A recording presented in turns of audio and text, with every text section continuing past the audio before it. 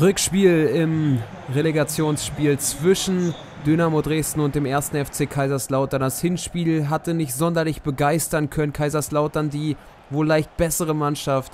Dynamo Dresden jetzt aber im heimischen Stadion mit Rückenwind. 0 zu 0 ging es im Hinspiel aus und hier hatte das erste gute Ausrufezeichen Dresden und die Szene noch immer heiß. Yannick Stark, der hat den Ball gut zu liegen. Der hat starke Distanzschüsse drauf. Rapp mit der ersten Parade und weniger Augenblicke später mit der zweiten.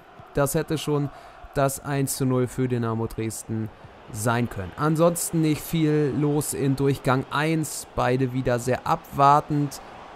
Ritter jetzt mal auf Beuth.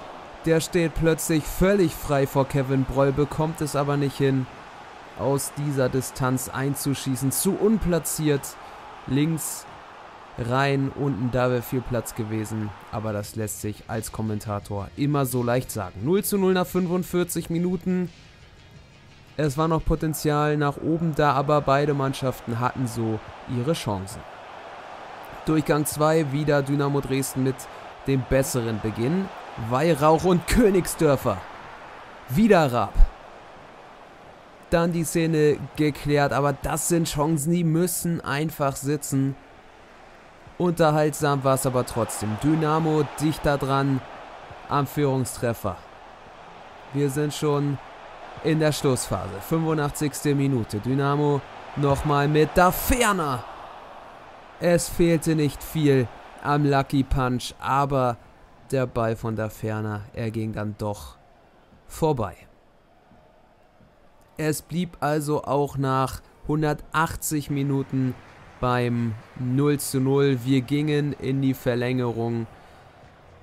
Und da hatte der erste FC Kaiserslautern dann endlich auch mal wieder nach vorne was zu zeigen. Wunderlich mit dem Freistoß aus dem Halbfeld.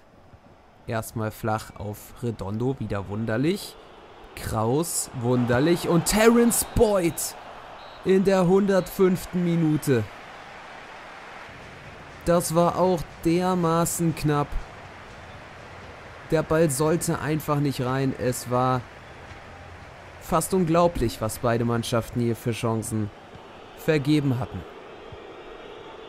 110. Minute. Es lief langsam auf das Elfmeterschießen hinaus, weil Terence Boyd an diesem Dienstagabend es einfach nicht schaffte, das Duell mit Kevin Broll für sich zu entscheiden. Wieder toll gehalten.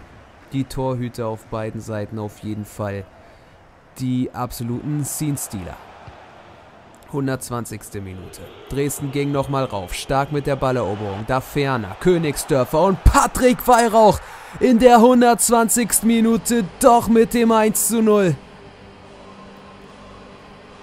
Dresden hält die Klasse in allerletzter Sekunde vermeiden sie das Elfmeterschießen und bei den Spielern und den Fans, da gab es kein Halten mehr. Unglaublich bitter für Kaiserslautern. Was für ein Spieler kann so ein Pass verkraften, den er hierher schenkt.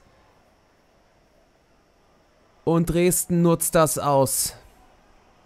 Dynamo hält also tatsächlich die Liga, gewinnt mal wieder ein Spiel und das ganz kurz vor knapp. Riesenenttäuschung bei Kaiserslautern, die trotzdem natürlich eine tolle Saison gespielt haben, aber jetzt wird kurzfristig die Enttäuschung überwiegen.